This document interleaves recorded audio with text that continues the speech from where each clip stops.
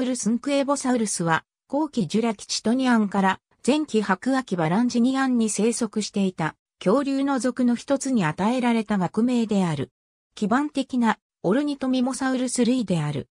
化石は南アフリカ共和国のカークウッド類層で発見された。その場所は原住民である、交差族の言葉で、ンクエバと呼ばれている。その標本は、学名が与えられる前は地層にちなんで、カーキーの愛称で呼ばれていた。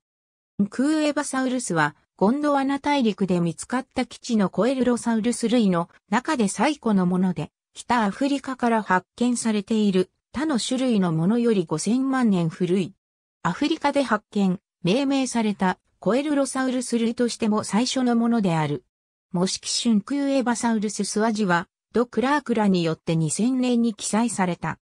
記載者によると、この親族はアフリカから知られる白亜紀の獣脚類の中で最も完全で最も良い保存状態のものである。よく保存された標本は部分的に向かい合わせにすることができる親指を備えた長い三本指の手を持っていた。その化石は腹に一石も持っていた。その標本は高気応体のものであると考えられ、全高は30センチメートル、全長は90センチメートルと見積もられている。ただしは見つかっていない。ホロタイプの新しい要素は基盤的なオルニトミモサウルス類であり、おそらく植物食であったことを示す。これは、私立の現象と遺跡の存在によって裏付けられる。ありがとうございます。